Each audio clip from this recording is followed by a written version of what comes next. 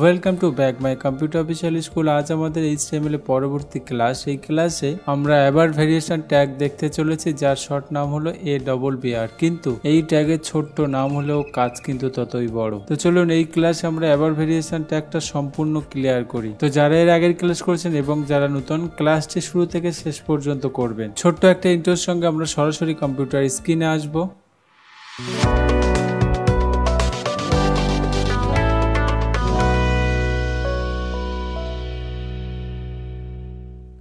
আমরা ইতিমধ্যে কম্পিউটার স্ক্রিনে চলে এসেছি। আপনারা দেখতেই পাচ্ছেন আমাদের সফটওয়্যারটা আমরা ওপেন করে নিয়েছি, যেহেতু এই সফটওয়্যারের মধ্যে আমরা কোডিং করব। তো সবার আগে এই কাজের অবস্থাটা কি আমরা ব্রাউজারে রান করে দেখে নেব। এই জন্য আমরা থ্রি ডটে যাব। অ্যান্ড এখানে ক্লিক করার সঙ্গে সঙ্গে আমরা রানে এসে স্টার ডাবিং এ ক্লিক করতে পারি। অথবা আমরা কিবোর্ড থেকে এফ ফাইভ প্রেস করতে পারি। আমরা এখান থেকে ক্লিক করে সঙ্গে সঙ্গে আমরা দেখতে পাচ্ছি যে আমাদের কাজটা কিন্তু এই অবস্থাতে আছে। তো চলুন, এবার ভেরিয়েশনটা একটা ক্লিয়ার করতে গেলে আমাদের একটা কিছু লিখে নিতে হবে। এখানে আমরা পি ট্যাগ নেব প্রথমে। এখান থেকে আমরা পি ট্যাগ নেওয়ার পরে আমরা কিছু লিখে নেব এর মধ্যে, যেগুলি আপনারা, আপনাদের ইচ্ছে মতো লিখে নিতে পারেন। তো দেখুন, আমরা কিছু প্যারা লিখে নিয়েছি এখানে পি ট্যাগের মধ্যে। আপনারা দেখতেই পাচ্ছেন যে আমাদের পি ট্যাগের মধ্যে লেখা আছে, ওকে? অ্যান্ড আমরা এই কাজটাকে সেভ করে দেবো কন্ট্রোল এস করে সেভ করার পরে আমরা ব্রাউজারে একবার রান করব। রান করার সঙ্গে সঙ্গে আপনারা দেখতেই পাচ্ছেন আমাদের কিছু লেখা আছে। তো এখানেই আমাদের অ্যাবার ভেরিয়েশন ট্যাগ কিন্তু প্রয়োজন। যেমন, আপনারা দেখতেই পাচ্ছেন যে আমাদের স্ক্রিনে কিছু লেখা আছে, এখানে আপনারা সহজে দেখতে পাচ্ছেন যে আমাদের এইচ টি এম এল যদি আপনার মনে আছে এইচ টি এম এল এর ফুল ফর্মটা আমরা এখানে লিখব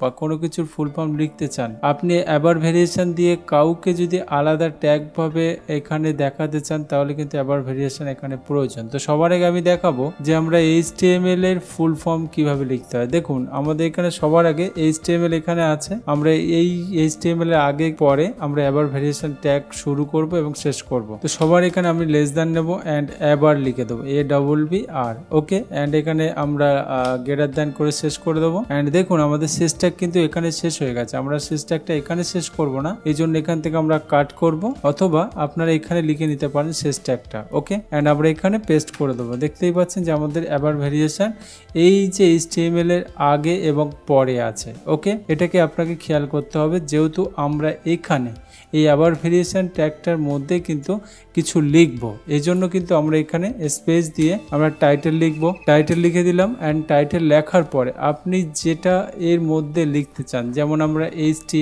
এম এল এই যে ফুল ফর্মটা লিখব, এখানে কিন্তু আমরা লিখে দেবো ওকে অ্যান্ড আমরা এখানে লিখে দিলাম, লিখে দেওয়ার পরে কিন্তু আমরা এখানে সেভ করে দেবো। সেভ করে দেওয়ার পরে আমরা ব্রাউজার যদি একটা রিফ্রেশ করি, তাহলে আপনি দেখতে পাচ্ছেন এখানে কিন্তু ডট ডট উঠে গেছে। আর আমাদের যে মাউস পয়েন্টারটা যদি আপনারা এখানে রেখে দেন, তাহলে এখানে কিন্তু শো করছে hyper text markup language okay তো এই জন্য কিন্তু অ্যাবার ভেরিয়েশন ব্যবহার করতে হয় এবং আরেকটা কাজেও ব্যবহার করা যায়। যেমন আপনি যদি মনে করেন যে আমরা অ্যাবার ভেরিয়েশন যত জায়গায় লিখেছি সেই টেক্সটগুলো এদের থেকে আলাদা করব। তাহলে দেখুন, আমরা এখানে অ্যাবার ভেরিয়েশনগুলো লিখে নেব। তো যেমন আমরা এইচ টিএমএলটা লেখা আছে, বাকি যে এইচ টিএমএলগুলো আছে আমরা লিখতে চাই। তো এই জন্য আমাদেরকে লিখে নিতে হবে। তো দেখুন আমরা এখানে লিখে নেব। অ্যান্ড লেখার পর আমরা এবার শেষ করে দিলাম। এবার দেখুন শেষটাকেও চলে এসছে। আমরা এখান থেকে একটু কপি করে নেব, যেহেতু আমি সবগুলোকে আলাদা করতে চাইছি। অ্যান্ড আমরা কপি করে নিলাম। কপি করে নেওয়ার পরে আমরা এবার শেষ করে দেবো। যে ট্যাগটা সম্পূর্ণ আলাদা করতে চাইছি, সেই ট্যাগের শেষে আমরা লিখে দেবো। তো এটা শুরু ট্যাগ হয়েছে। আমরা এই এইচ এর পেছনে কিন্তু আমাদের শেষ ট্যাগ দিতে হবে। তো আমরা শেষ ট্যাগটা দিয়ে নিই। অ্যান্ড আমরা শেষ ট্যাগ দিয়ে দিলাম।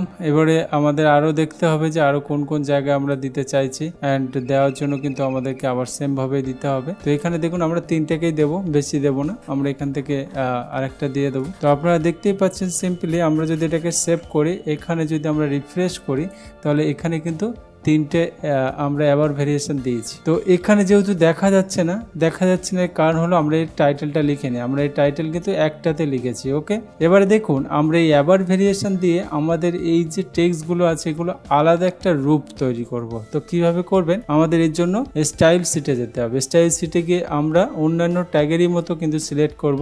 A double B R and এখানে আমরা সেকেন্ড ব্র্যাকেট দিয়ে এন্টার করে দেবো। এবার আমরা এই টেক্সটটাকে নিয়ে কি করতে চাইছি আমরা ইচ্ছা মতো মডিফাই করতে পারব। যেমন আমরা কালার করতে পারি। আমরা কালার করে দেবো অরেঞ্জ রেড কালার করে দিলাম অরেঞ্জ রেড অ্যান্ড আমরা সেভ করে এখানে দেখে নেব যে আমাদের কালার হচ্ছে কিনা। দেখুন, আমাদের এখানে কিন্তু কালার হচ্ছে। এবার যদি আমরা মনে করি যে আরও অন্য কিছু করব অ্যান্ড আমরা এখান থেকে কিন্তু মডিফাই করতে পারব। যেমন আমাদের ফন্ট স্টাইল আমরা এখানে ফন্ট স্টাইল লিখে দিয়েছি। ফন্ট স্টাইল আমরা এখানে ইতালিক করব ওকে অ্যান্ড আমরা এখানে ইতালিক করার পরে আমরা এন্টার করে দেবো অ্যান্ড সেভ করে নেব।